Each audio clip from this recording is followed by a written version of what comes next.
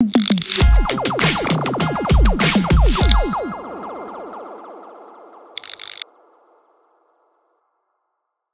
Fala malucada, como vocês estão? Aqui quem fala é Wagner do Alvo da Louca Podcast, o seu podcast de gente real, falando com o empreendedor da vida real. E olha que a gente tem hoje aqui um cara que mais vida louca que esse eu não sei se tem, vocês vão saber da história e vão conhecer um pouco. Lembre-se que aqui a gente tem um pacto, falaremos as coisas como elas são, sem mimimi, sem lacração, portanto aqui é papo reto certamente com Josias isso acontecerá. E comigo, meu parceiro João.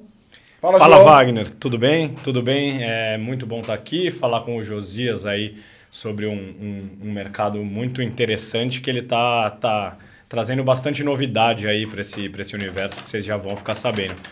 Muito bom falar com vocês e vamos em frente. Boa! E eu queria, cara, começar te dando um presente aí em agradecimento pela. Pode abrir, pode ficar à vontade. Beleza. É... Em agradecimento pela sua participação.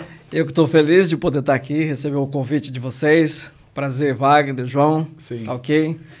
Realmente é. Construção é uma loucura, né? Vamos embora, né? Vida e, louca total. Vamos aproveitar, vamos abrir, né? Manda bala, vamos manda vamos bala. abrir aqui já, porque Bora. presente quando se ganha, se Sim. abre. É isso, é isso.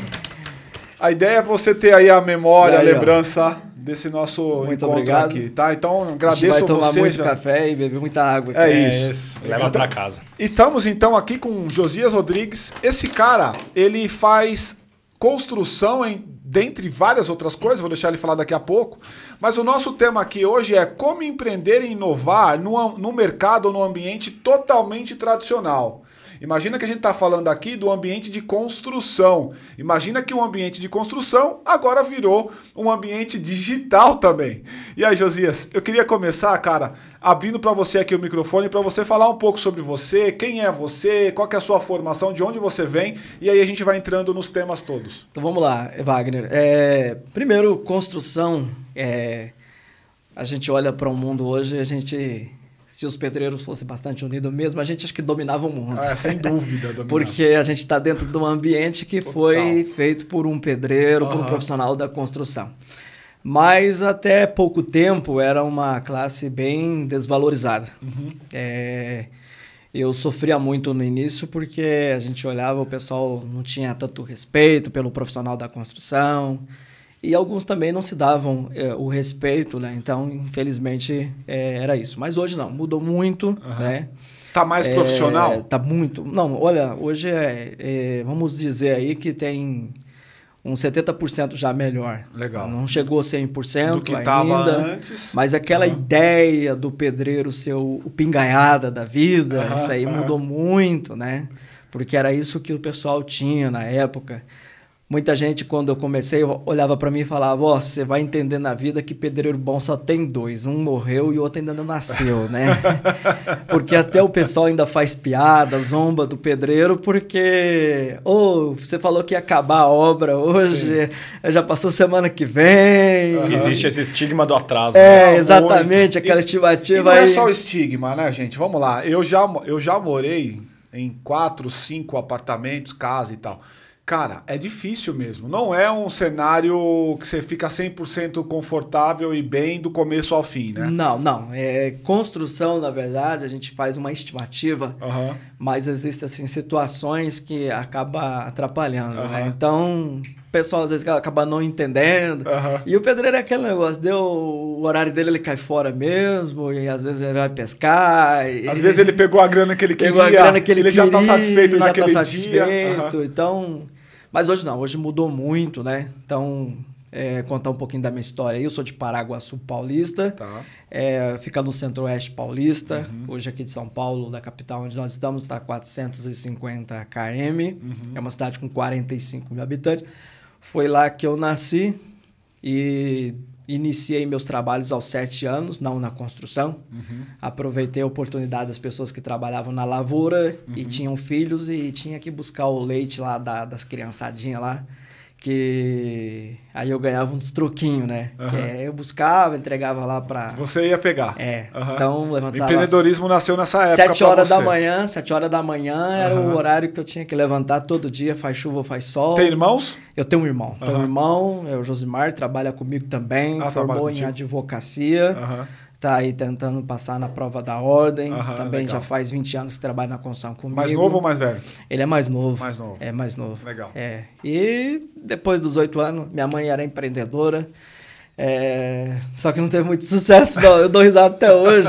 Porque hoje eu era para ser tipo assim, herdeiro de uma grande fábrica de colchões. Uhum. A minha mãe tinha uma das maiores fábricas de colchões da região, que era colchão de capim. Uhum. Já ouviu falar do colchão Nunca de capim? Falar. Nunca ouvi falar é. também. Não, mas é, era, na época existia, não, não tinha é, o, o a espuma era, era capim é mesmo, é mesmo, era... Que ano isso? Ah, pai, eu não tinha 30 nem nascido. anos, 40 anos, 40 é, anos atrás. É, ela acabou de fechar a empresa agora, né? Só deu pra... Mas aí saiu, eu até falo pra ela, pô, mas se eu tivesse nascido naquela época, nós era, já era o dono de, da, da, das maiores fábricas. Aí saiu a espuma e ela não atualizou. Fica aí, então aí a primeira lição aí ela do podcast é, é capim, esse, né? né? Ela, aí ela é. faliu, né? Então ela faliu.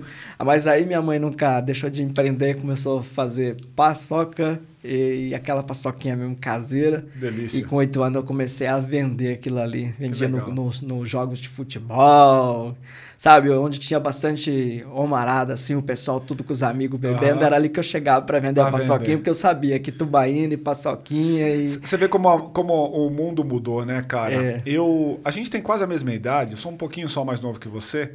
E eu, e eu também tenho a sensação, meu pai, o meu pai ele tra sempre trabalhou em, em, na indústria, né? Meu pai é da é. indústria. Só que ele também tinha uma competência adicional que era a de pedreiro.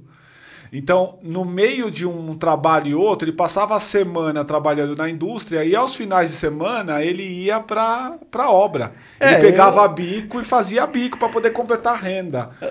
E eu tenho a impressão, e eu, desde pequeno, eu vou à obra com ele. Então, então você já tem bem. Eu, bem eu, exato, eu sei obra. como é que é aquela coisa do cimento tal e tal. Eu tenho a impressão aí que eu queria chegar que os nossos filhos hoje jamais viverão uma coisa parecida, né? Hum. Porque levar um menino de 8 anos hoje para uma obra, para você, enquanto pai, ensiná-lo acaba sendo um negócio pejorativo hoje. Então, veja bem, é, eu tenho um menino, ele tem 19 anos. Uhum. Eu comecei a levar ele muito cedo para as construções. Ele chegou a aparecer em alguns vídeos. Uhum. E aí foi aonde veio o pessoal do mimimi ah, então, tal. esse é o ponto. Aí começou a entrar muito problemas, né? Aí até eu entrei numa discussão polêmica. Uhum foi a questão de, pô, se o filho do artista famoso pode aparecer na mídia e fazer novela, fazer novela pode fazer filme, por que que o meu? Aí eu descobri que a lei me dava esse amparo desde que ele estivesse trabalhando para mim, ou seja, ele estivesse comigo como Sim. pai na minha própria empresa. Ah, é? Não que eu estivesse explorando ele Sim. numa outra empresa. E era assim, ele tinha o horário regular de estudo dele uhum. e ele não ia todo, toda hora para a obra. Então ele ia algumas vezes, então comecei a ensinar. Uhum. Não teve vocação, não gosta. não gosta. Ele saiu da, da, área de construção total? Não, ele continua, ele trabalha de ajudante porque é assim, eu ensinei a vida inteira para ele. Se você quer, você tem que conquistar. Sim pai, eu quero comprar alguma coisa que é supérfluo, que não é o, o, o dele mesmo, uh -huh. que eu tenho que dar para ele, que eu tenho que manter. Uh -huh. Ah, eu quero um videogame, por exemplo. Então você vai trabalhar. Quando ele arrumou a primeira namoradinha dele, ele falou, pai, eu queria levar no lanche e tal. Eu falei, então você trabalha essa semana, no final você ganha o teu dinheiro e depois você leva ela no lanche. Perfeito. Meu pai foi então, a mesma coisa comigo. É, foi exatamente. Provavelmente você é a mesma coisa com o teu pai. É, meu pai foi a mesma coisa comigo. É, Ó, eu trabalhei, comecei a trabalhar aos 12. Meu primeiro salário deve ter sido com uns 17 anos. Foi uma mountain bike. Que eu legal. não ganhava nada. Uhum. Eu ganhava. Te é, dava um objeto, é, um presente. É, ele me deu uma mountain bike. O que uhum. eu ganhava em casa era o alimentação, Sim. roupa, essas coisas, mas ainda básico ainda, tá. né? Porque a gente foi uma. A gente viveu, eu vim de uma vida muito difícil, né? Uhum. Eu cheguei a dividir, eu sempre conto na minha história, isso é uma história real. É, minha mãe comprava um pão francês pequenininho, dividia no meio para mim e pro meu irmão. Uhum. E quando não tinha café, a gente bebia água com açúcar ou ia na vizinha. Porque antigamente a gente tinha muito isso, né? Quando faltava alguma coisa, a gente comia Batia no vizinho. Na, no vizinho Aí né? o vizinho vinha para cá com a xicrinha, nós ia para lá com a é. outra, fazia essas trocas de. É. Então hoje quase não tem mais isso, Sim. principalmente nas grandes cidades. Né? Nas, é. nas, pequenas cidades, ainda igual a minha, interior, essas coisas, é, ainda, acaba, ainda acaba tendo, né? Sim. Aquela. que o pessoal ainda continua ainda. Então a gente veio numa luta, de, uma dificuldade muito grande. Minha mãe, por exemplo, é, ela chegou a ser servente, ajudante de pedreiro do meu pai. A minha mãe também. Entendeu? Então nós temos uma história bem parecida. minha mãe e, também. Então eu vi muito sofrimento, uhum. tá? Vi muito sofrimento. É, então quando eu comecei aos 12 anos a trabalhar, eu estudava e trabalhava. Aí eu consegui entrar, estudar à noite. Quando eu comecei a trabalhar, estudar à noite, eu comecei a trabalhar integral. Uhum. E naquela época não tinha betoneiro, não tinha maquinário elétrico. Era na era enxada, manual, manual, mesmo, era enxada. Uhum. Olha, que vida sofrida. Deixa né? eu entrar com você numa coisa aqui, até para o pessoal entender, né? Por que, que, a gente tá, por que, que a gente trouxe o Josias aqui? É, o Josias ele acabou fazendo um negócio que é totalmente diferente daquilo que é o convencional no mercado dele. Então, o que, que é o mercado dele?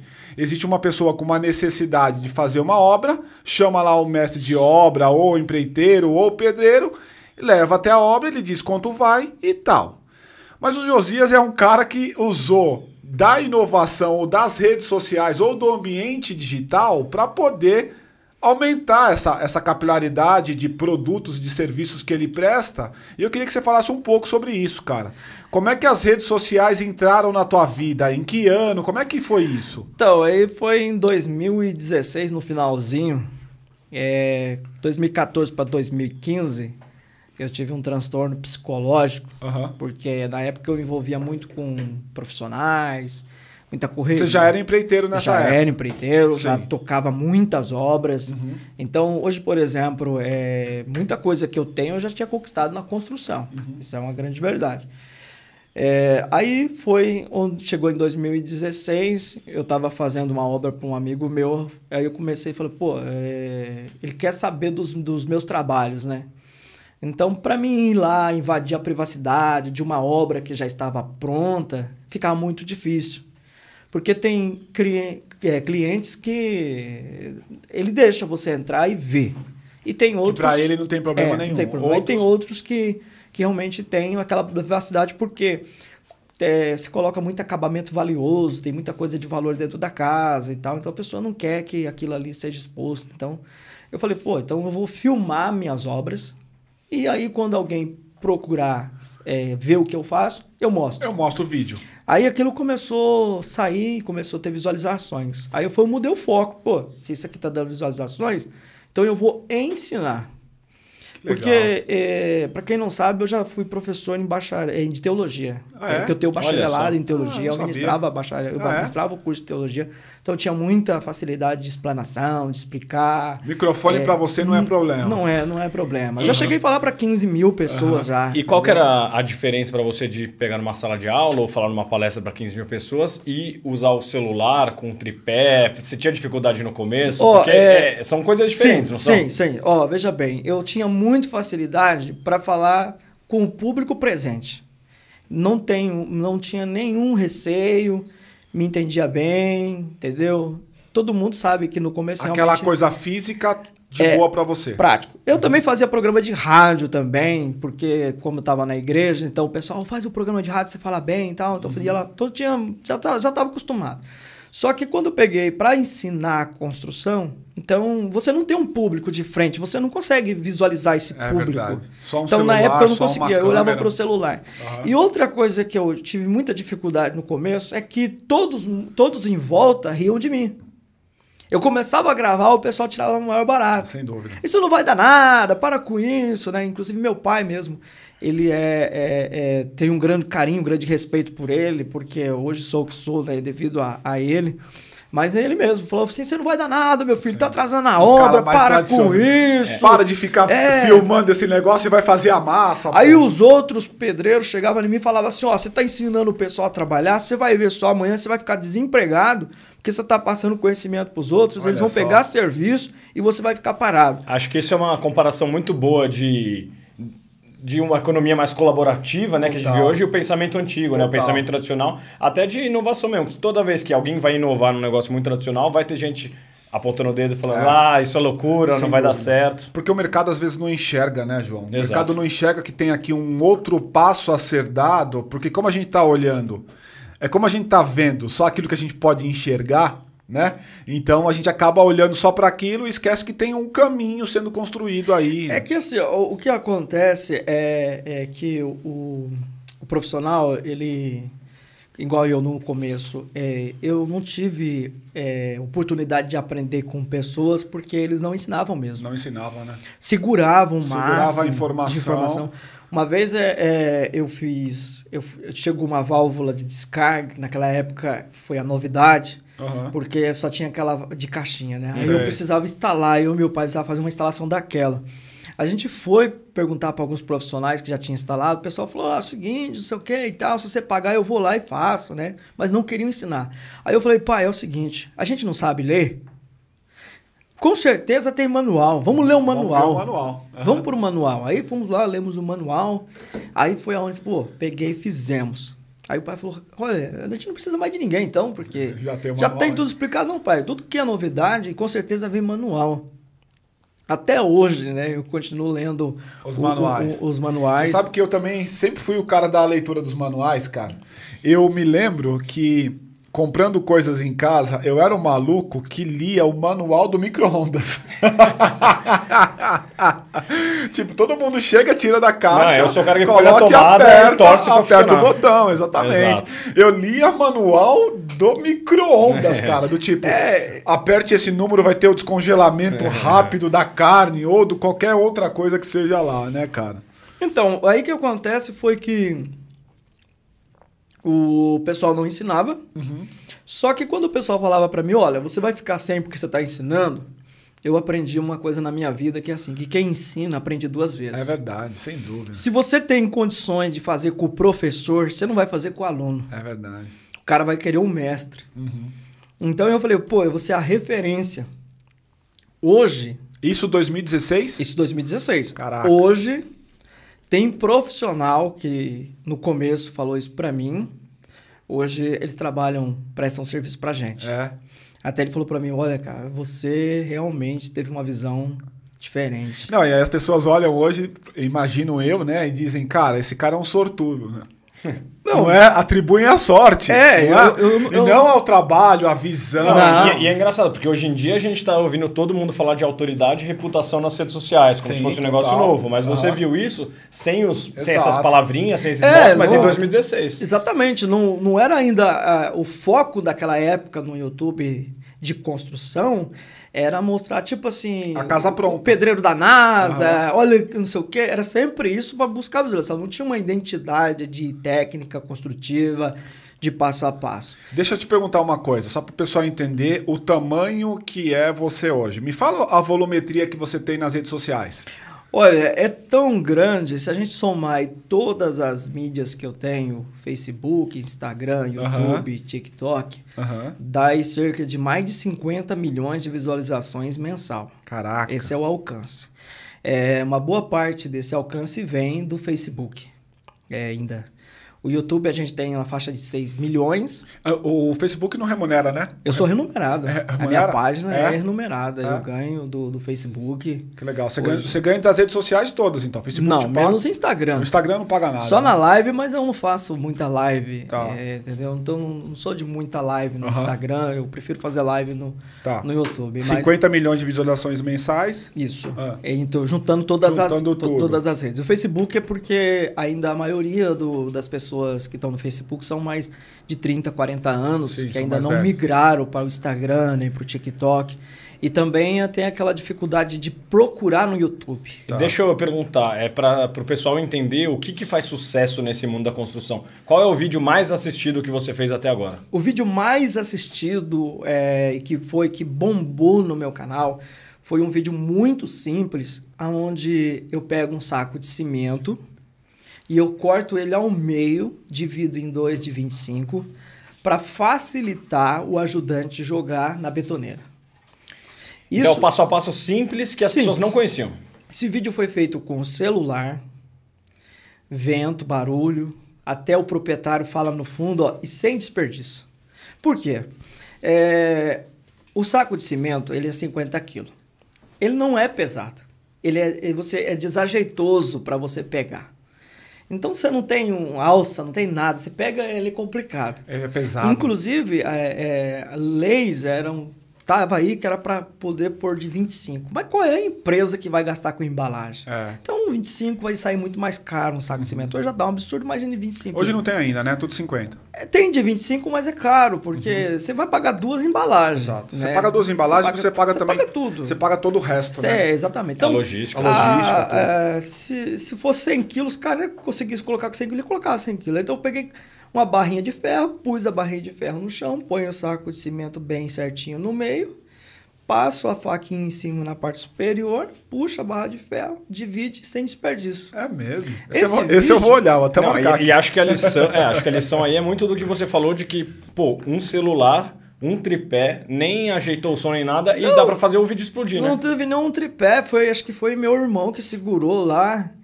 E o vídeo tem dois minutos. Esse vídeo bombou. Esse vídeo é, é um dos Esse maiores. é o vídeo que você teve a primeira grana que você ganhou no YouTube? Não. Me conta essa da primeira grana que você ganhou no YouTube. Os primeiros 100 dólares que você ganhou. Ó, o primeiro vídeo que me rendeu, eu tava na... Olha, foi, foi em 2000 e... Eu tava na faculdade. É, aí eu olhei, eu vi o gráfico que foi lá em cima. Eu falei, pô, qual é o vídeo que bombou? -huh. É um vídeo que eu tô com uma serra mármore cortando tijolo no meio. Uhum. Por quê? Quando você compra o bloco é, de seis furos, ele tem que comprar metade. Sim. Porque não dá para cortar. Sim. Então a Você metade. perde um vão daquele inteiro, é, né? A metade corte. custa o mesmo preço do inteiro. Uhum. Então havia acabado a metade do tijolo ali no local. Eu peguei e falei: faz o seguinte, pega o celular e vamos fazer um vídeo sem, sem tratamento de áudio, sem nada. Sem nada. Vamos fazer um Segurando negócio... ali, até uhum. tremendo. Ó, pessoal, é o seguinte, quer economizar com o tijolo? Uhum. Você pega um tijolo, você corta no meio e você ganha uma metade. Por quê? Se você pagar 10, por exemplo, numa metade, você vai pagar 10 no inteiro, então você ainda ganha mais 10, que assim sobra uma metade para você. Uhum. Cortei aquilo ali. Foi aquilo que o canal cresceu com aquele vídeo.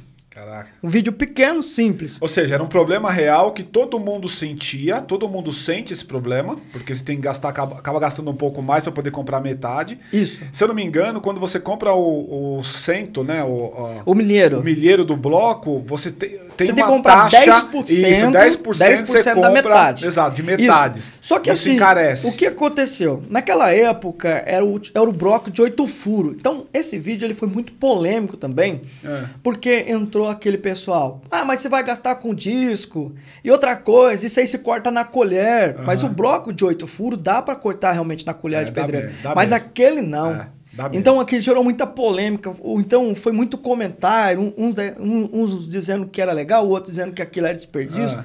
Para mim não importava. Você tava na escola, viu o gráfico e. É, aí não importava. Eu olhei, beleza. Aí, primeira coisa que eu fiz quando eu comecei a postar vídeos para ensinar foi é, procurar o AdSense, fazer certinho todos os procedimentos, veio lá o número do PIN, preenchi certinho, coloquei minha conta lá.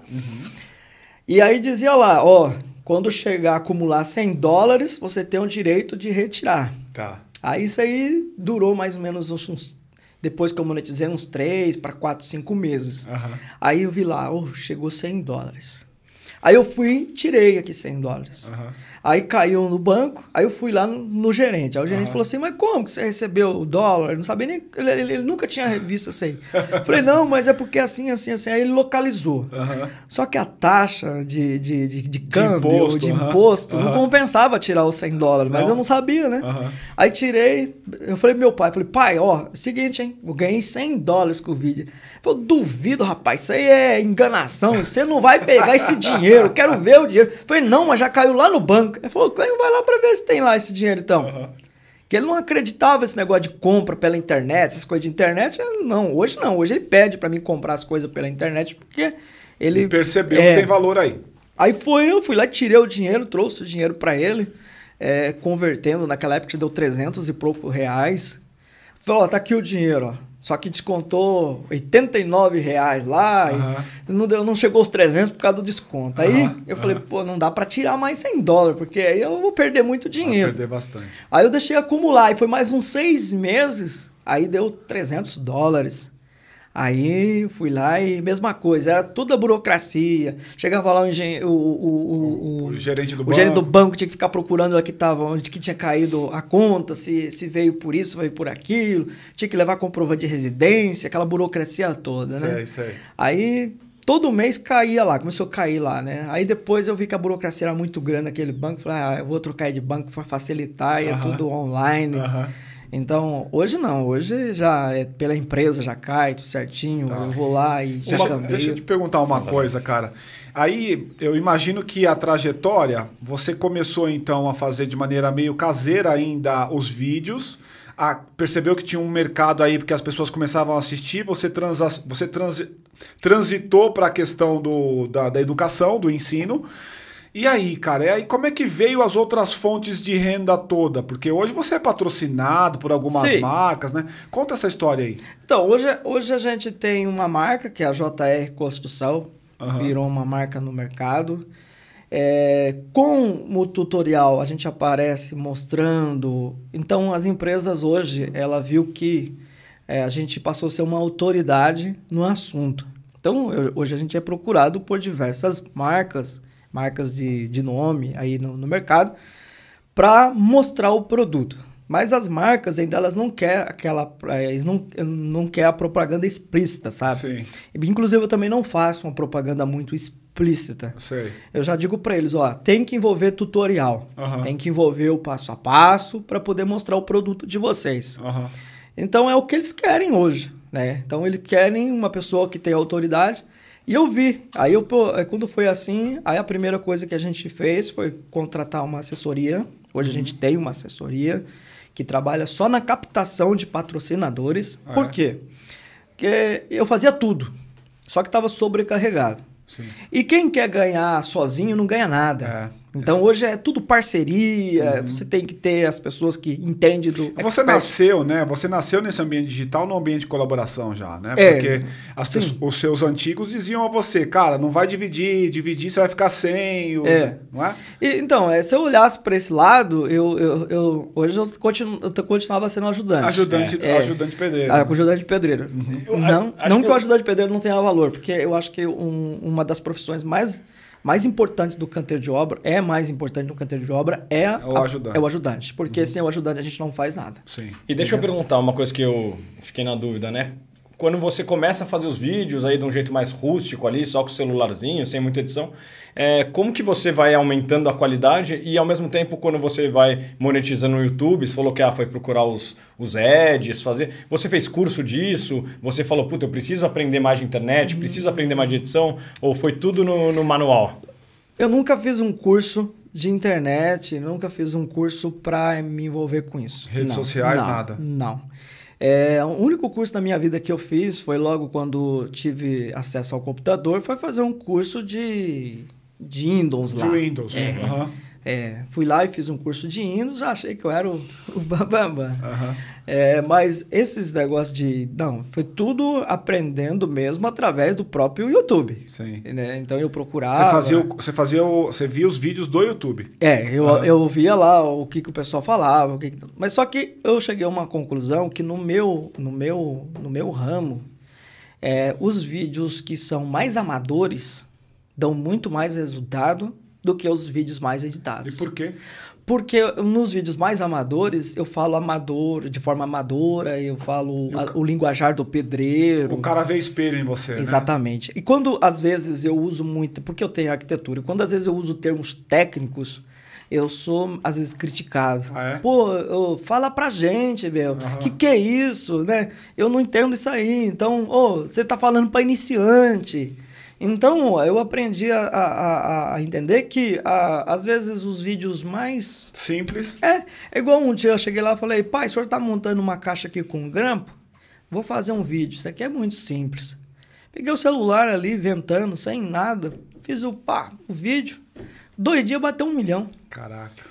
Dois dias. Então, quer dizer, é, é o. É sem o que... patrocinar, sem nada. Nada, nada. Colocou vídeo no, Não, eu nunca patrocinei vídeo no YouTube. Caraca. Eu nunca fui lá e patrocinei um vídeo meu. Uhum. Todas as minhas é, é, no YouTube são orgânico. Uhum. É, não tem nada patrocinado. Às vezes no Facebook, alguma promoção, alguma coisa de curso meu, alguma coisa, eu, eu ponho lá. Tá. Mas assim, no, no YouTube é orgânico. Eu aprendi que se você pagar por YouTube uma vez, meu irmão, Aí ele vai querer receber sempre. E a gente está falando de um país, né, que é muito de autoconstrução, né? Que a gente estava falando Sim. isso antes de, de começar a gravação. Off, né? Então, se a pessoa tá ela tá procurando vídeo, às vezes ela quer o, o, o mais simples mesmo, isso. porque é, é, isso que ela tá procurando de fato. É, é, é que assim. O, Não são só os profissionais que assistem, é, né? O Brasil é muito grande.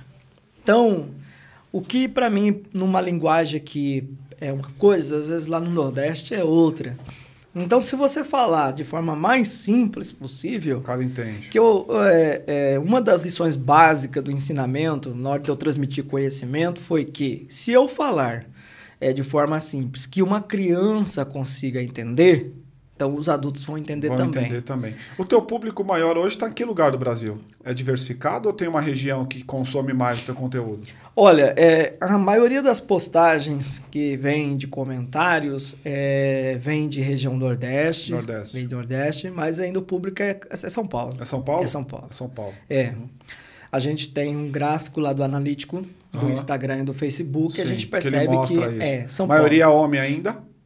80%. 80% homem. 80%, até mais é, é o público masculino. masculino. Uhum. O feminino está consumindo muito. Está crescendo. Tá crescendo. Uhum. No Instagram, por exemplo, o público feminino está crescendo muito. Porque hoje nós temos também várias é, mulheres que trabalham na construção, né? Sim, não sim. é Hoje construção não é mais um, um, um ramo só, mascu só masculino. masculino. Uhum. Não é, é feminino, né? Então, então hoje tem muitas profissionais aí já trabalhando que não deixa a desejar, não deixa a entendeu? Desejar. Principalmente Mesmo nível na... de qualidade. Nossa, em questão de acabamento. Então, acabamento eu tenho a impressão que vai ser melhor elas ainda. Superam, né? elas, elas, a organização também. Elas né? se superam. A organização eu, também eu, do todo. Eu, eu, e isso para mim é, é, um, é um negócio que eu vejo como uma grande vantagem, né? Uma grande vantagem. Deixa eu te perguntar uma coisa, né? Então, só para a gente entender aqui. Você era um cara que era, que era um, um empreiteiro, caiu para o ambiente digital, aí começou no YouTube a fazer, fazer grana de alguma maneira com teus vídeos, disso rendeu patrocínio. O que mais tem nesse leque de negócios que você gerencia ou gere hoje? Cursos. Cursos também? Fala cursos, um pouquinho dos cursos. Além dos patrocínios de, de, de coisa, a gente tem os cursos. Tá. É, o básico de todo construtor é aprender a ler projeto. Uhum. Parece simples, mas não é. Não é. Porque é. cada desenho. Você lê o desenho, é, né? Com aquela representação uhum. gráfica, uma linha mais fina, uma linha uma, que a gente chama de pena, né? Uhum. né? Aquela pena, que a linha a gente chama de pena na arquitetura. Mas vamos falar linha, porque o público entende. Uma linha fina, uma linha grossa, uma linha tracejada, Sim. contínua, representa alguma coisa. Tem algum significado. É, símbolos. Então, pessoal, olha, quando eu, eu, eu a primeira coisa que eu fui fazer foi aprender a ler planta de casa. Uhum. Se eu soubesse ler, estava garantido. Uhum. E eu comecei a ver que o público tinha muita dificuldade. Então, como eu tinha arquitetura, estava fazendo curso de arquitetura, conhecia muito o projeto, falei, então eu vou ensinar o pessoal a ler da linguagem mais simples. Sim. E eu fiz um curso, esse curso tem nove videoaulas, é, e está na plataforma já há uns três anos, dois anos mais ou menos. Esse curso a gente tem mais de 2 mil alunos. E eu fiz ele acessível. 2 mil alunos? Mais de 2 mil alunos. Tá onde? Tá no Hotmart da vida? Tem no Hotmart e tem na, no Eduz. É? É. E ele tem mais de 2 mil alunos. Ativos? É um curso, ativos. Né? É que só, o curso, ele, na verdade, ele é vitalício. Aham. Uhum. Então a pessoa aprende, depois ele volta a assistir de novo. Sim. E é um curso muito acessível, né? Em valor não chega nem 100 reais. Ah, é? E tem dia que dá uma loucura lá mesmo. Pagamento único. Pagamento único, não tem mensalidade. Às vezes dá uma loucura lá, esse dia deu uma loucura mesmo no dia dos pais. Falou, Uhum. eu quero, quero presentear os pais, mas eu não posso porque a plataforma me cobra, Sim, né? sim. Então eu vou fazer um negócio aqui, loucura pra vocês. R$ Uhum. 9,99. É mesmo? É mesmo 9,99. curso? O mesmo curso. De, noven- de 99,99 fazer 9,99 para atender muita gente. Aham. Foi assim, em cima da hora. Na verdade, é que era assim, eu falei assim, eu preciso fazer dinheiro porque eu tô no Mato Grosso, eu quero pescar e eu não quero usar o dinheiro que eu tô aqui, eu quero fazer dinheiro. Não vai dar muita coisa, né? Porque a plataforma tira uma parte, mas mesmo assim, em... eu comecei, era, era, era acho que 9 horas da noite no horário do Mato Grosso, Aqui era 10 horas. Uhum. E fechei o carrinho meia-noite. Né? Uhum. Só nesse, nesse período eu vendi 6 mil reais. É mesmo? Olha lá. Caraca, Aí eu falei, ó, dinheiro da pesca, né? Tá garantido. E o pessoal falou, pô, obrigado por ter feito esse valor 9,99, porque eu consegui fazer o curso. Então uhum. tem muito feedback lá. Bom, o curso é bom, valia até muito mais, a gente pagaria mais.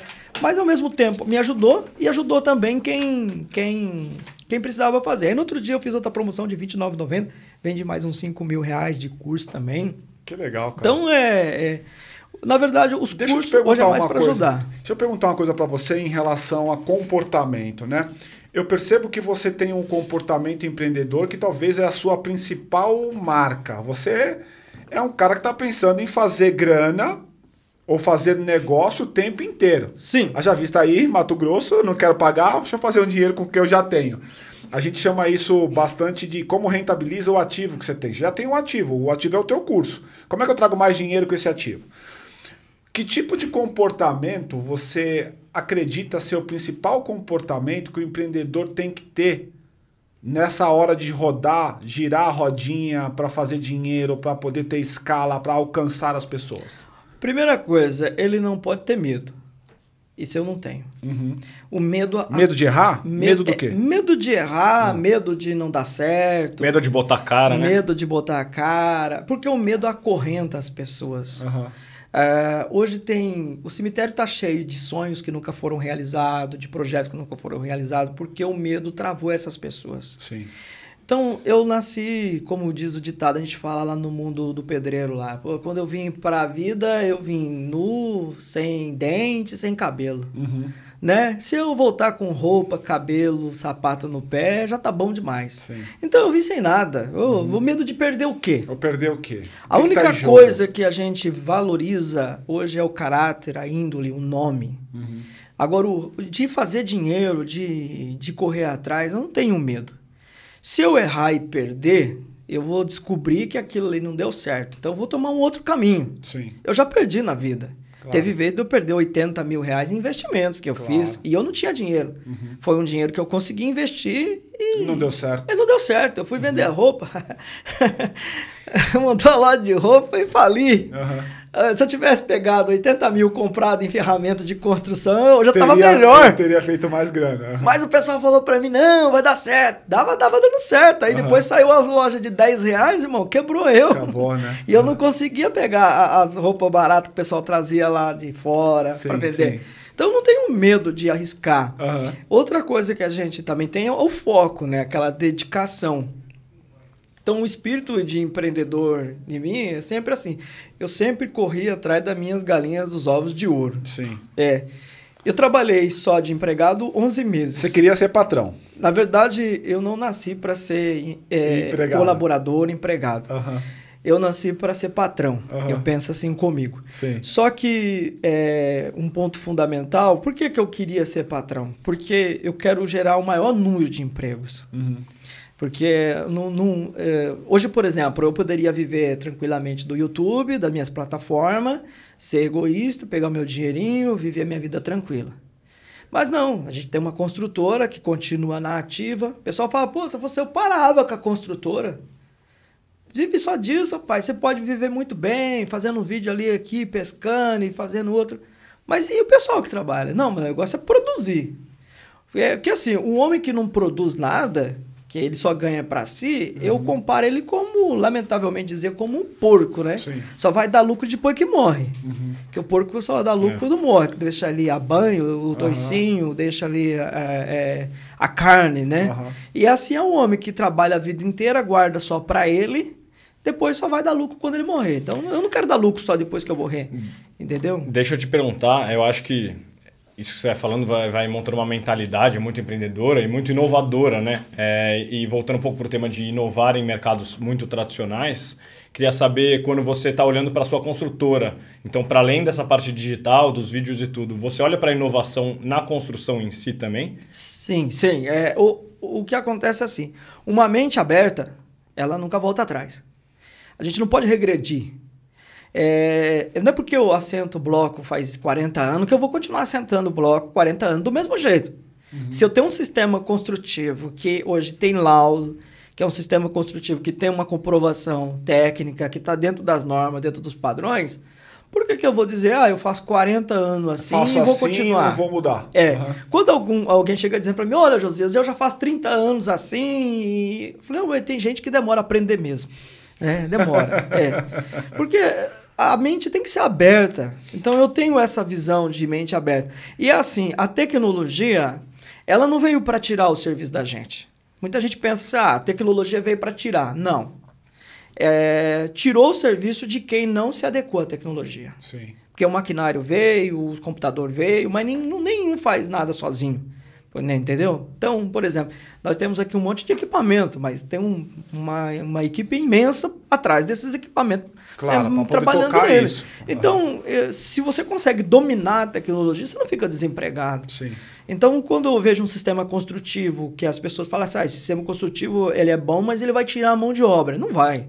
Se você se, se aperfeiçoar nele, ele, ele vai render. Você vai ganhar um monte de cliente e vai, vai, contratar mais gente. É, então, por exemplo, hoje nós temos aí um sistema construtivo que está na, na, na no, no, momento, que é as casas de EPS. O EPS uhum. é o isopor. Então, todo mundo, quando eu comecei a fazer essas casas, o pessoal da minha cidade falava, ô, isso é a casa dos três porquinhos, né? Porquinhos, quando vê um vento, vai derrubar. A casa tá lá, não caiu. Aí hoje as pessoas me procuram, Josias, quando é que você vai construir a próxima? Porque eu quero aprender. Reduz, reduz custo aí. Reduz custo. E você acha que tem uma tem crescido a procura do consumidor nesse tipo de, de produto? Olha, se eu tivesse hoje uma equipe aí de 100 profissionais, capacitado para gerenciar 100 obras, eu teria 100 obras. É mesmo, é. cara? A procura é enorme. E você está trabalhando nisso? Eu estou trabalhando nisso. Uhum. É, também é, a gente está treinando alguns pessoais também nisso. Porque o que acontece? É, primeiro, é, diminui é, o tempo de trabalho. Uhum. É um terço. Uhum. Que você faria três casas... É, você faz três casas é, no sistema de monopainel, enquanto você faria uma no sistema convencional. No convencional. Outra coisa, não sai resíduo da obra. Então, e, e não é desgastante para o profissional. Porque pesa menos também, Nossa, né? Nossa, pega uma placa dessa, pesa, pesa aí 12 quilos por metro cúbico. Caraca. É, você pega um metro cúbico, pesa 12 quilos. Uma placa dessa, é, por metro, vai pegar um quilo e pouquinho. Uhum. Então, é muito leve para o profissional trabalhar. Então não é desgastante. Tá só nas paredes ou tá em outras coisas? Paredes, laje. Laje também? Tem enchimento, por exemplo, onde você vai usar aterro, você acaba usando EPS. Uhum. Então essa tecnologia veio e ela veio para ajudar o pedreiro, ajudar o construtor. Ó, oh, o risco de errar é menor. Qualquer pedreiro que tenha noção de construção consegue fazer. Uhum. Você usa como? Você tem uma é uma cola ou é um cimento, massa? Como é que é? Que assim, as paredes elas são EPS no meio, vem as malhas. Então a gente vai verticalizar ela com os chumbadores que são os vergalhões no uhum, chão. Ela uhum. vai ser fixada, alinhado, prumado, né? E depois vem a argamassa estrutural, que é um reboco. Um reboco. É um reboco. Então, é, uma casa de 50 metros, por exemplo, que você ia demorar aí 30 dias para deixar com laje, a gente deixou em 16 dias. Caraca, meu. Então, então aí vem o reboco. Quando você reboca a casa, já está com passar a tubulação de elétrica, hidráulica. Então tem é grandes marcas trabalhando com você nisso já? Tem, tem. Você tem patrocínio de tem, grandes marcas tem, trabalhando tem grandes nisso? marcas já que, que, que é patrocinador. Porque assim, primeiro eu comprei a, a, casa de EPS. Não foi o patrocinador que veio, ó, oh, Josias apresenta, não. Ah, você comprou uma? Eu comprei para uhum. fazer o teste. Tá. É. Porque quando é assim, não é porque eu estou fazendo porque a marca me patrocina, não. Não havia patrocinador. Eu mesmo fui lá e comprei, paguei. Eu paguei com a casa. E aí quando eles descobriram que era eu que havia comprado, porque sai o nome lá, né? Aí foi aonde o dono da empresa, que é uma empresa muito grande, pegou e chamou o pessoal, falou: vocês deixaram o pessoal, o rapaz comprar a casa? É, porque eu falei, pessoal, eu estou comprando uma casa de EPS porque eu quero mostrar como é que é feito, eu quero ensinar vocês, eu quero mostrar. Que Você aprendeu como? Olha, é assim, em feira, em eventos, eu via muito. Tá. Só que eu não, eu não acreditava. Uhum. Eu olhava aquilo ali e falava... não vai cair, né? Olha os três porquinhos. É. Só que aí, peraí, eu, aí eu, eu, eu, eu sempre imaginei construir casas do modo Lego. Aham. Falei, é, Lego, um dia nós vai fazer isso aí também. Aí eu peguei e falei, não, vou estudar mais a fundo isso aí. Aí eu comecei a visitar obras de monopainel. Então eu procurei saber onde tinha, eu comecei a visitar a obra com recurso meu mesmo, eu fui atrás, comecei a visitar, tá? Aí eu falei, não, o negócio funciona mesmo. Aí eu liguei para a empresa e falei, vocês têm laudo? Tem. Vocês têm é, é, documentos que me dá garantia? Temos. Temos tu- estudos que foi feito em laboratório, temos tudo certinho. Falei, então beleza. Se vocês têm tudo isso aí, então eu vou comprar o produto de vocês. Comprei o produto e Legal, aí cara. foi aonde entrou a empresa. Depois de uns três, quatro meses que eu havia comprado, a empresa me procurou. Falou, olha, então vamos fazer o seguinte. Entendeu como é que era e Vamos, um... vamos, vamos patrocinar você, né? O produto que você comprou, você pagou, beleza, Uhum. né? Mas vamos aí patrocinar você porque a gente tem intenção de, de, expandir. de expandir, né? O carro-chefe deles não é a casa de isopor. Sim. É, eles É porque essa, é uma- essa é uma pernada, esse é um passo que as empresas dão em geral para mirando o futuro, não é agora. Então, ainda que não seja hoje o principal carro-chefe da empresa, alguém está tendo visão lá no Sim, médio sim, e longo sim. prazo. É o que está na tendência, né? É a tendência. A Paty quer fazer uma pergunta. Manda bala, Paty. Oi, Josias, tudo bem? tudo bem. É, eu fiquei pensando aqui no seu público, né? Que são os pedreiros, as pessoas que trabalham na construção, que é uma área tradicional. É, como é que eles recebem essas suas ideias inovadoras, essa sua, essa sua, esse seu posicionamento na internet, né? Você dando conteúdo. É, eles estão andando junto com você? Seu- Você conseguiu fazer com que o seu público te acompanhasse nessa evolução profissional e de, e de, de coisas novas surgindo? Ou você tem bastante resistência? Porque eu acredito que muitos empreendedores tenham públicos que são tradicionais e que demorem um pouco para engajar e estar nesse nessa evolução junto. Olha, então, Paty, na verdade, hoje eu tenho uma taxa de aceitação de 97, 98%, que a gente mede pelo like, pelas comparações e pelos comentários. É, existe sim ainda é, muitos tradicionais que ainda põem em dúvida o que a gente está apresentando. Tem hater? É, tem, tem, Tem tem, hater tem, também? os haters, tem Uhum. os haters, mas a gente já conhece pelo, pelo comentário quem é um profissional e quem não é. Sim. É, a aceitação hoje ela é, ela é muito, é, muito, vamos dizer assim, tem esse, a taxa de 97, 98% por causa da propriedade, como é que eu falo, né? Como é que eu estou explicando. Então, eu transmito que eu tenho propriedade do assunto. Sim. Porque eu não aprendi hoje e fui ensinar no YouTube. Então não sou aqueles que aprendeu com o vídeo do A e foi fazer mostrando pro B. Sim. Não. O telefone sem fio só vai aumentando, Não, né? eu, eu tenho um negócio que. Eu é- aprendi com é- o curso do outro que Não, explicou o curso. eu, eu tenho a prática. Eu tenho a prática, eu tenho a técnica, eu tenho a teoria, eu tenho o conhecimento científico. Então, essa, essa, essa, essa propriedade, essa autoridade que eu passo, faz com que as pessoas aceitam. Aí eu lancei uma vez, ó, isso criou polêmica, vou falar aqui. O, no lugar da Cal, eu lancei no mundo digital o detergente. Aquilo foi. O pessoal falou pra mim que eu tinha dado tiro no pé. O que que é detergente? O detergente substituía a cal para dar liga. Ah, é? É. Um saco de cal custa aí hoje 12 reais. O Aham. detergente custa 20 uns- quilos, né? É, de 20 quilos. Dá para fazer uma amassada. Enquanto o detergente de R$ 1,50, 2 reais, dá para fazer 10. É mesmo? Você trocou uma coisa pela outra? E aí, cara? Só que é o seguinte, quando eu, eu lancei isso, as pessoas achou que eu lancei da minha cabeça. Ah. Mas não foi.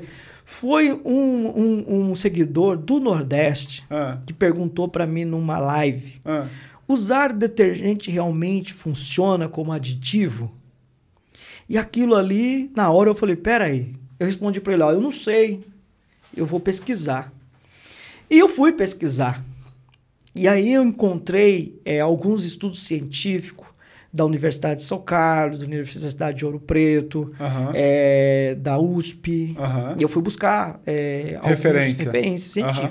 Científicas. E eu fui também procurar nos Estados Unidos, é, em, em- em alguns, é, alguns, alguns estudos científicos nos Estados Unidos, né? E aí? E eu encontrei ali em inglês alguns estudos científicos que o pessoal chamava de incorporador de ar. Que aí eu peguei e fui ver. E realmente, no final de tudo, chegava à conclusão que esse incorporador de ar estava no detergente. Caraca. No detergente. E aí? Que eu fiz? Botei na rede. Choveu de engenheiro pago por, por, por, Por empresas. por empresas de que cal. tinha interesse, É. aham. Inclusive, quando eu falei numa live, eu tava numa live, falei assim: olha, amanhã eu vou botar um vídeo que eu vou trocar o cal por centavos. Aham. Você acredita que no outro dia choveu de ligação de pessoas de outras empresas me ameaçando que ia me processar, É que ia mesmo, fazer cara? isso, que ia fazer aquilo, que, Que não ano foi quê. isso, velho? Rapaz, isso aí foi acho que em 2017, 2018. Aham. Isso aí é o mercado na- nadando contra Caraca, a maré da, inovação, É. né? E aí, cara? E aí? Aí eu peguei, fiquei 30 dias o vídeo guardado por causa das ameaças. Ah, você ficou com medo de colocar? Não, eu fiquei assim, não, porque aí eu falei, peraí. Aí eu falei assim pra minha mulher, eu falei assim, olha. Ela falou assim, mas você não tem todas as comprovações científicas.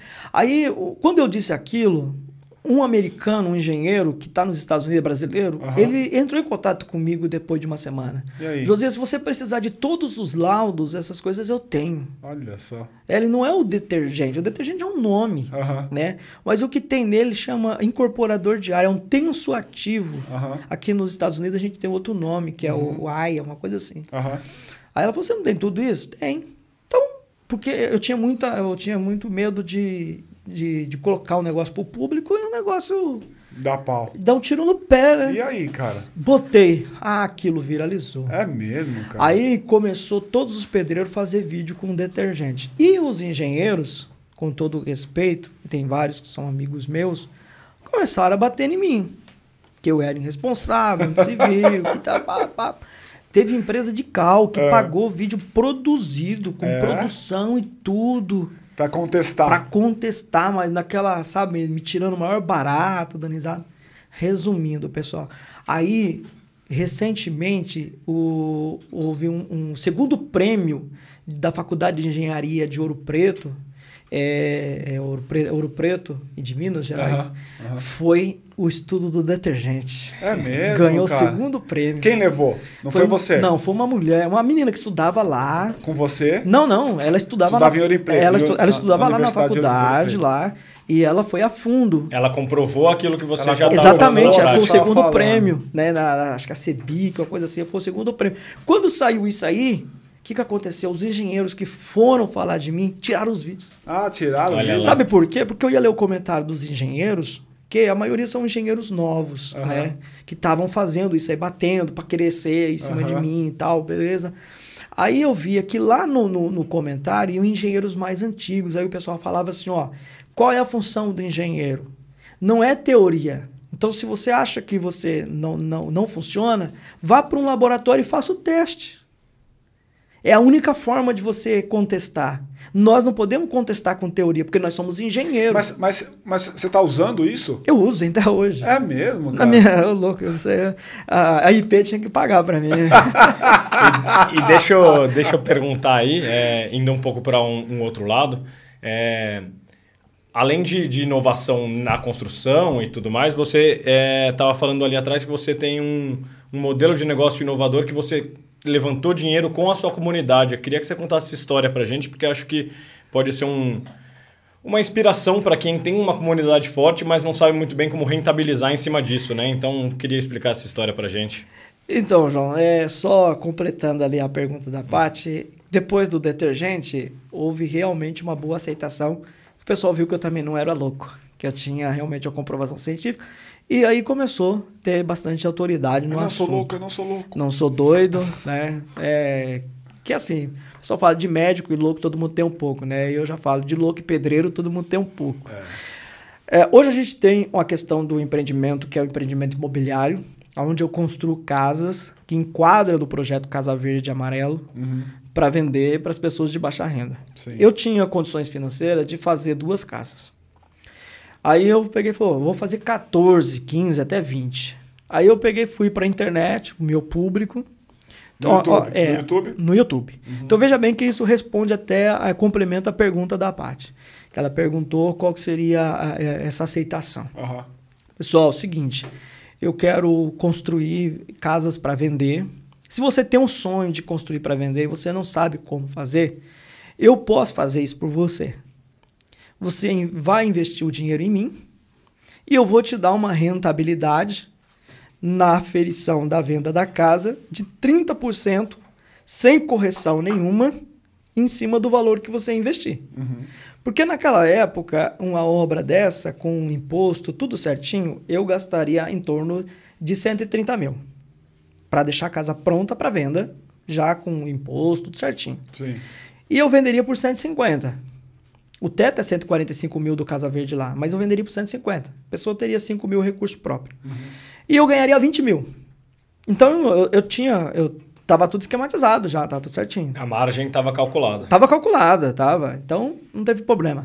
E aí eu fiz um formulário no, no, no, no, no Google, no Google uhum. e coloquei lá quem tivesse interesse, deixei meu contato também. Uhum. Aquela noite choveu de pessoas querendo investir. E não era pouco, não. E aí a pessoa perguntava para mim qual o mínimo. Eu falei, sabe uma coisa? Vamos trabalhar com os pequenos. Uhum. Dois mil para cima pode investir. Caraca. É, mas só que de dois mil teve muita pouca gente. Sim. Porque quando a pessoa vinha investir pouco comigo, eu já eu, eu era muito claro com a pessoa. Olha, você está investindo dois, cinco, esse dinheiro vai te fazer falta, não vai? Porque se você está investindo pouco, é porque você tem pouco. Uhum. Então, você não vai ter esse retorno agora. É só quando eu vender a casa. Pensa bem, porque depois eu não vou poder te devolver, porque existe um contrato. Então, eu, eu deixava as pessoas muito bem cientes. Cientes. Então, quando a pessoa chega e fala, José, eu vou investir com você 300 mil, ele tem patrimônio. Aquele dinheiro está lá no banco guardado, então ele quer render aquilo ali. Ele não tem aquela preocupação. Aí foi onde a gente conseguiu fazer aí mais de 2 milhões. Aí Caraca. somando e aferição, tudo cheguei até 3 milhões em dentro de cinco dias. Cinco dias? É. Caraca. Contratei uma advogada muito boa em contrato, elaboramos um contrato, uhum. paguei o contrato, uhum. chamei meu contador, aí nós vimos certinho para não ter problema é, fiscal. Uhum. Aí esse dinheiro entra por, entrou pela conta jurídica, por contrato, inclusive aí até o o órgão do governo, acho que é o COAF, né, é, foi a saber atrás, porque dentro de uma semana é esse, caiu né? esse é, valor esses todo. valor todo, eu fui chamado, aí eu apresentei os contratos, e olha, se vocês querem saber agora, o contrato está aqui, o nome está aqui, o CPF está aqui, veio da conta de fulano, agora da onde ele trouxe esse dinheiro, não sei. Que legal, cara. Nunca peguei um real em mãos, não, não esquento dinheiro de ninguém. Aprendi isso também na minha vida porque tive orientação da minha advogada, do meu contador. Josias não pega dinheiro de maleta de ninguém, é tudo por meio de conta jurídica, entrou na conta jurídica e vai sair da sua conta jurídica é, para retorno para eles. Então, aí fizemos. Fizemos hoje, nós temos hoje 14, são 15 casas que a gente conseguiu fazer. Uhum. Fizemos 15 casas. Dessas 15, 5 já foram vendidas outras estão em negociação para ser vendidas. E ainda adquirimos mais é, terrenos em condomínios fechados, em outras cidades também, para construir agora, trabalhar agora com médio e alto padrão. Que legal, você estava com baixo padrão, né? Agora nós Ca vamos para médio acessível. e alto padrão. Cara, eu quero agradecer muito sua participação aqui, meu. Acho que foi sensacional, né? A gente tá muito chegando... legal. É raro a gente ter é... gente de mercados tão tradicionais e com uma mentalidade exato, tão inovadora. Exato, aqui. acho que é um negócio muito bacana. Acho que o principal atributo que eu diria sobre você, se alguém um dia num papo, num almoço comigo, perguntar: Meu, o que você achou do cara? Eu falei: Cara, aquele cara é um puta visionário, porque você tava num ambiente que ele é totalmente quadrado dentro de um bloco. Tô Sim. brincando aqui, tá? É, é dentro então, de um quarto. Exato, exato. De então, uma construção. Que é feito milenarmente. É. As pessoas sabem fazer isso há muitos anos e passa de pai para filho, como foi comigo um pouco com o meu pai, você com teu pai e assim por diante. Então, você conseguiu enxergar uma coisa onde pessoa, as pessoas não estavam enxergando. Isso é, é animal. Ganhar dinheiro hoje e, e crescer na vida financeiramente, evoluir, ter as coisas é, não é só usar a mão para trabalhar, uhum. é pensar. Pensar. É. Tá. E isso eu trabalhava pensando. Então, Sim. toda a vida minha eu penso, eu tenho até dificuldade para dormir, porque a minha mente é muito acelerada, Sim. que eu penso demais. Sim. Penso, penso e, e penso é, e penso. E inclusive tem um problema Entendeu? desse, se não me engano, é a síndrome da, do pensamento acelerado. Eu tenho. Eu também tenho isso aí. Eu vivo isso. É. Isso é um mal. Todo dia antes de gravar, eu todo dia que eu vou gravar, isso eu é... acordo duas da manhã e não consigo mais dormir. Hoje foi assim, cara. Esse é o ossos do ofício Puta de merda. quem é empreendedor. Cara. E, então, é, a pessoa tem que ter. É, o que barra além do medo, né? E nunca me barrou foi comodismo. Sair da zona de conforto. Tem muita gente que não quer. Que legal. A pessoa acostumou e eu não. Eu, Ela quer eu- ficar na zona é, de conforto. É igual eu, por exemplo, para mim vir gravar com vocês hoje aqui, eu trabalhei ontem o dia inteiro. Aham, Eu saí de, de Paraguaçu por volta de 10 horas da noite. aham. Cheguei aqui 5 horas da manhã. Viajei, dirigi a noite Ah, você inteira. veio a noite inteira dirigindo? Caraca, meu. Cheguei aí, peguei um hotel, dormi 5 horas Aham. até umas 9 horas. Duas horas agora da tarde eu tenho reunião com, com a Bosch. Que legal, Amanhã eu cara. tenho que ir para Ribeirão Pires com reunião com outro grupo. Que legal, Depois cara. tem mais outra reunião. Aí eu só chego em Paraguaçu lá por volta de sábado, e domingo. Sábado ao final do dia. Então, então as pessoas não querem isso. Muita gente É. não quer. Não, quer, quer, da coisa zona de pronta, né? conforto. É, pensa É. que é só pegar um vídeo, se filmar, colocar no YouTube É. e virar milionário, não é? Deixa eu eu- te fazer uma última pergunta, que é a pergunta tradicional nossa aqui. E talvez você vai ser um dos caras que tem- vai ter a maior facilidade de responder. Por que o Josias é um vida louca? Cara, porque eu sou doido, mano. doido. Todo mundo fala pra mim o que, que eu faço, eu sou doido. Porque é assim. é, eu poderia estar mais tranquilo, ganhando meu dinheirinho do YouTube igual eu consegui. Ah, Dá pra sobreviver. Mas é, eu sou louco. Eu falo assim, eu não vou pegar mais nada. Mas daqui a pouco eu já pego de já novo. tá cheio de coisa de novo. É, loucura. É, ó, o mundo é só é ganho pelos doidos, cara. Sim. Se não tivesse doido, não- o mundo não, não tinha sabor, entendeu? Tava muito Sabe aquele normal. cara que é tudo certinho, aquele negócio ali, entendeu? Não. O cara tem que ser doido. Eu tô com a cabeça no céu, mas tô com o pé na terra. Sim. A gente Isso é tem aquela loucura, também, é. aquela loucura, mas é uma loucura que você sabe até É onde você, você né, vai. É, Aham. é. Mas é por isso que a gente é realmente essa, essa vida louca da gente. Pessoal, hoje, todos os profissionais que trabalham comigo mesmo, a maioria deles me aconselha. Josia, para, meu, você é doido, onde você viu isso? Você chegou de uma viagem, você já vai para São Paulo, depois você vai para outra, não sei para onde. Porque tem dia que eu chego, trabalho, já pego o carro à noite, já vou para outro lugar, aí já volto, trabalho de novo ali, dou assistência aqui, já vou para outra, é reunião e tal. Ou seja, vida louca, altos e baixos, vai o tempo inteiro correndo atrás do que você precisa É, para que alcançar eu- o que você precisa. Eu penso assim, se eu parar com isso, eu acho que eu, eu vou passar mal, É, né? fica doente. Entendeu? mano. Cara, muito obrigado pelo Eu que seu agradeço. tempo. Muito Sim, bom papo. legal. Muito obrigado. E eu queria, eu queria dizer a você que assistiu esse vídeo, que se inspirou nesse cara vida louca, como ele mesmo disse, eu queria pedir que você curtisse, compartilhasse, se inscrevesse no canal. Todas essas coisas são absolutamente importantes para nós, para continuar produzindo o conteúdo que você consome aqui. Não se esqueça que, é, é, se você precisar falar com ele de alguma maneira, a gente também vai deixar os contatos dele aqui na descrição, vai aparecer em algum lugar aqui embaixo, e você pode fazer contato com ele mesmo. E, cara, obrigado. Valeu aí pelo seu tempo. Eu que agradeço, Wagner. Valeu pela sua disponibilidade. João, e é isso aí. obrigado, Pessoal, viu? grande abraço e até a próxima. Não Valeu, esquece pessoal. de curtir, hein? Tchau, curte tchau. aí, curte aí, curte aí. Tchau, tchau. Valeu. Cara, sensacional, cara.